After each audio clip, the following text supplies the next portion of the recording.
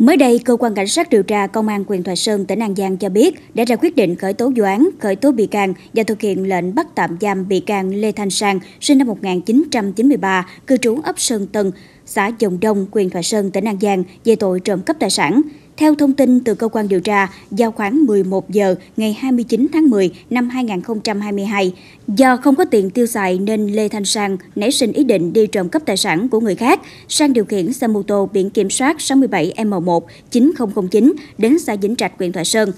Khi đến đoạn đường thuộc khu vực ấp Trung Bình Tiến, Sang phát hiện nhà chị Trần Thị Kiều Anh, sinh năm 1980, không khóa cửa rào và không có người trông coi, nên Sang đậu xe trước cổng rồi lẻn vào nhà chị Oanh, lấy trộm một điện thoại di động hiệu iPhone. Trong lúc chuẩn bị tẩu thoát, thì Sang bị chị Oanh phát hiện chạy theo bắt giữ được Sang cùng tan vật. Trong lúc chờ lực lượng công an lại giải quyết vụ việc, lợi dụng sơ hở, Sang đã chạy thoát thân, bỏ lại xe mô tô. Sự việc sau đó được cơ quan cảnh sát điều tra công an quyền Thoại Sơn thụ lý truy xét.